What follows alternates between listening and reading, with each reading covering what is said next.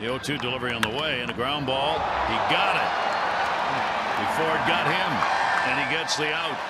A one, two, three inning, seventh inning stretch time. Orioles lead it four to two.